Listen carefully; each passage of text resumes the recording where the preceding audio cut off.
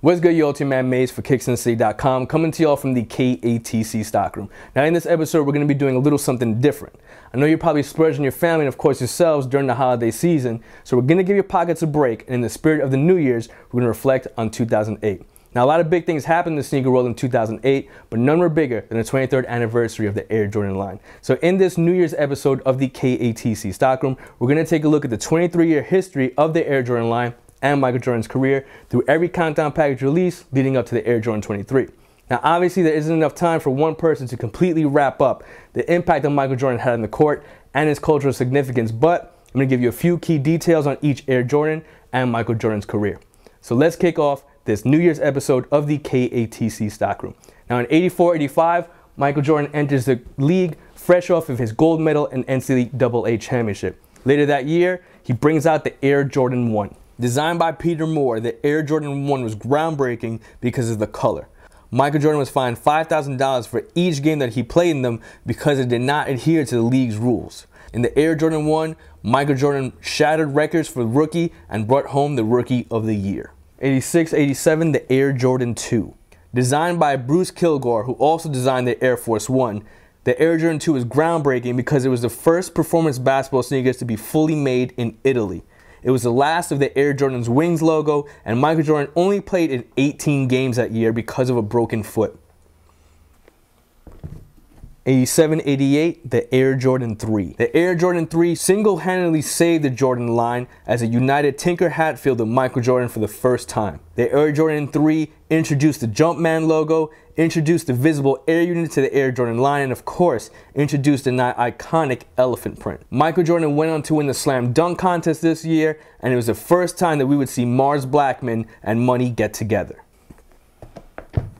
88, 89, the Air Jordan 4. The Air Jordan 4, designed by Tinker Hatfield, introduced mesh in the sidewalls, introduced the plastic wings, introduced a plastic heel tab, and introduced the flight logo under the Jumpman. It was the first Air Jordan to be priced above $100. MJ went on to average 32 points that year, and the Air Jordan 4 was immortalized in Spike Lee's Do the Right Thing. 8990, the Air Jordan 5. Tinker Hatfield designed, inspired by the Mustang fighter plane. Introduced reflective tongue, the clear outsole, and the lace lock. Mars Blackmon once again came back for the Air Jordan 5, and Money averaged 34 points a game.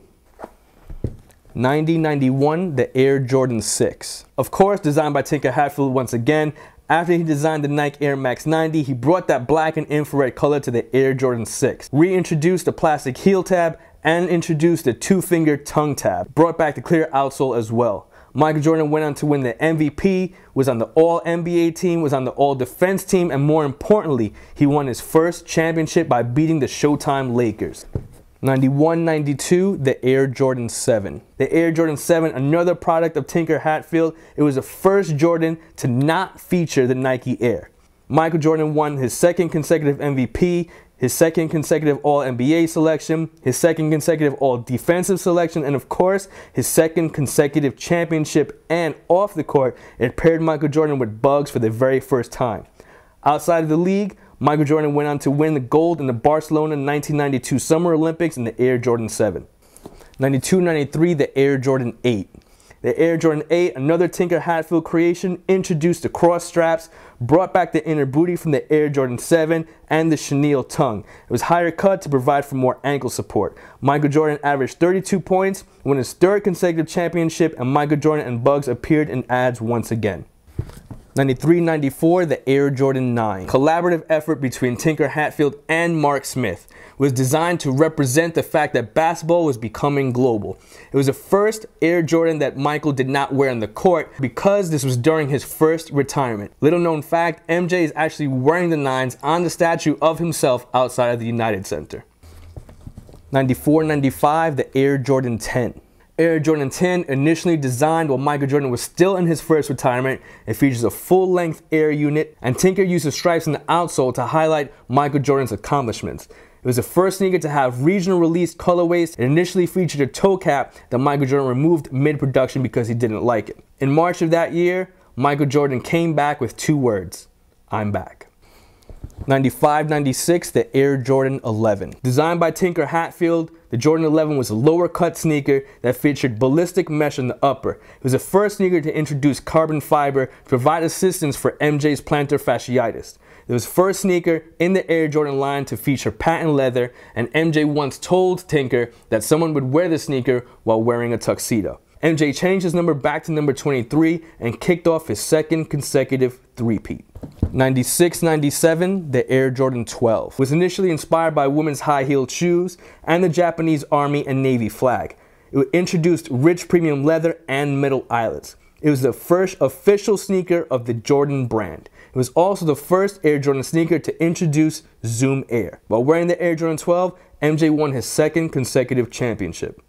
97-98, the Air Jordan 13. Air Jordan 13, designed by Tinker Hatfield, was inspired by MJ's Panther-like game. MJ first told Tinker that people called him the Black Cat during the design process. It has a paw-like outsole and the hologram. It also brought back the 3M reflector that was first introduced in the Air Jordan 5. MJ wore the Air Jordan 13 throughout the season, and in the playoffs, he introduced the Air Jordan 14. 98-99, the Air Jordan 14. Was designed by Tinker Hatfield and Mark Smith and was inspired by the Ferrari 550. It has seven Jumpman logos on each sneaker, totaling 14 on the pair. It has a Ferrari-like logo, and MJ it during his iconic last shot to beat the Utah Jazz and seal his second consecutive three-peat. Now, after draining that last shot against the Utah Jazz and completing his second three-peat, Michael Jordan once again walked away from the game of basketball and entered the third phase of his career.